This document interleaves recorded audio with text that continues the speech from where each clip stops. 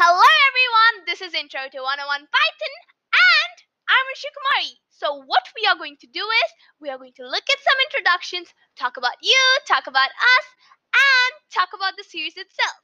So for this series, I would be joined by Shambhavi from USA. So let's have a quick introduction of her. My name is Shambhavi and I'm here with Anshu and I am a program CEO in Blockchain Kids the global CEO at Blockchain Kids, which is an organization that aims to eliminate child trafficking from this world by building a blockchain that can sustain on its own and help save every child in this world from child trafficking.